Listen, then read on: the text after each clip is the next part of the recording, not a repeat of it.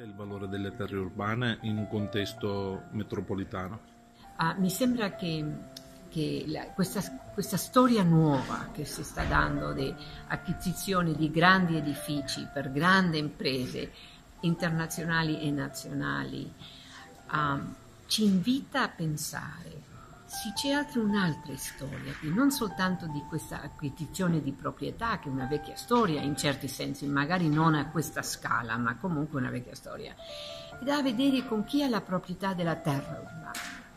E lì una volta che incominci a cercare di capire quali sono i regimi legali sulla terra urbana, non è facile, non c'è molto. In tanti casi non c'è veramente legge di terra urbana, soltanto di proprietà. Allora per me una domanda molto importante è il pericolo che questi grandi compratori di edifici producono dei contratti molto innovativi, delle leggi sull'acquisizione di queste proprietà che contengono dentro di loro questi contratti, contengono infatti già anche certe presunzioni di proprietà della terra urbana e quello mi sembra problematico, specialmente in un contesto dove hai una grande perdita di habitat generalizzato per il cambio climatico, per l'espansione della mineria, per l'espansione delle compre di terra per fare delle plantazioni. Cioè, hai tante modalità economiche oggi che stanno anche facendo espulsione di, di gente di certe terre urbane. Ascolti, Cin- i cinesi stanno tantissimo comprando in Africa, l'Europa deve impaurirsi di questo no? Io credo che i cinesi sono fra i grandi compratori, ma non sono gli unici.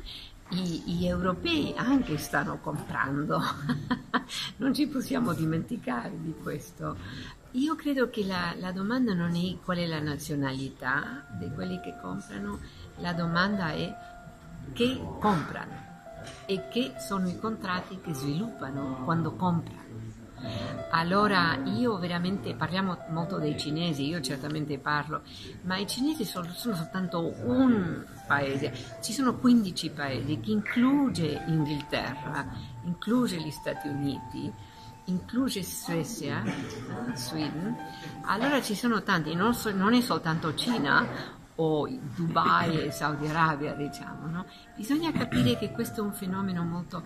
Allora, quello che importa è cosa comprano, come lo comprano, quali sono le condizioni che hanno nei loro contratti. Questi contratti non sono nello spazio pubblico e io sono molto interessata in recuperare uh, quello che mi preoccupa è che stanno anche comprando la terra sotto la proprietà. Lei nel suo ultimo libro fa riferimento all'estrazione delle miniere, no? facendo il paragone col sistema finanziario. Qual è la paura e quali sono le criticità di questo? Io credo che la modalità che domina oggi in questa economia, ai livelli più uh, importanti, più, di più potere, uh, che lasciano traccia grande, uh, è una specie di logica di estrazione, stesso per settori che mai pensiamo come settori estrattivi.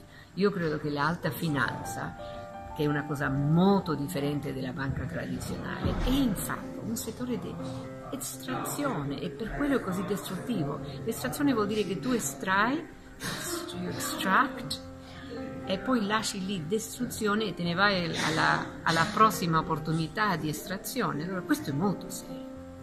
Questo è molto diverso dalla banca tradizionale che ha bisogno di una comunità che prospera, che, perché se no non ha nulla.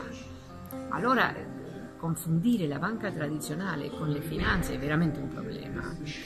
Per me questi sono elementi che marcano la differenza entre oggi e diciamo il periodo keynesiano. Ascolti, il problema migrazioni, l'Europa, l'Europa, soprattutto l'Italia, ha sofferto moltissimo dell'emergenza migrazioni. Cosa pensa lei di questo?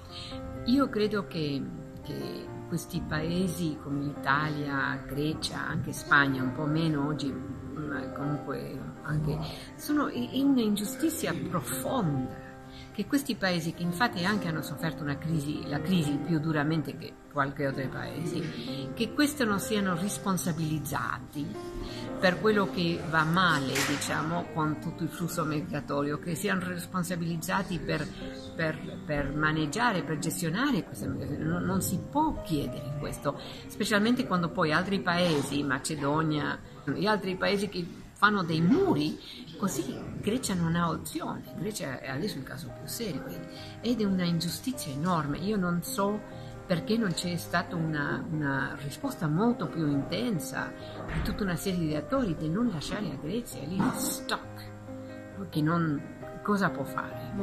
Allora io credo che c'è questa massiva perdita di habitat la guerra è la cosa più visibile, ma ci sono tante altre modalità. E questo, questo, diventa un processo a livello globale. Qui bisogna stabilire un regime globale e non si può neanche responsabilizzare quelli che vengono buttati fuori per le minerie che non hanno nulla a vedere con guerra, diciamo. Che, che, che, questi sono responsabilizzati perché non posso dimostrare che sono rifugiati, infatti sono rifugiati e quando cambia il cambio climatico aggiungerà anche più uh, di questi rifugiati che non sono riconosciuti nella legge internazionale. Noi dobbiamo fare legge nazionale legge internazionale che genera un regime magari meno immediato che il UNHCR per i migranti di guerra, per i rifugiati di guerra, ma comunque un regime serio. Io credo che è una delle grandi sfide e non sarà facile, ma neanche è stato facile con i rifugiati di guerra, allora bisogna fare il lavoro di quelli.